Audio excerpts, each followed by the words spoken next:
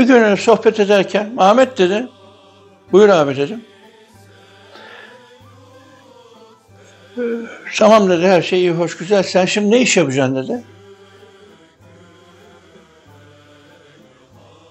Nasıl yani dedim abi. Oğlum dedi ne iş yapacaksın diye soruyorum. Bunu anlamayacak bir şey var mı? E dedim işte Ahmet Özsan'ım ya ben dedim ya. Ne onlarda ismim var. Şarkı söylüyorum. Paracıklar geliyor. Efendim şuydu buydu yarın bir işte filmler, diziler, plaklar falan filan. Yani işimiz. Cık. O dedi yani sana dedi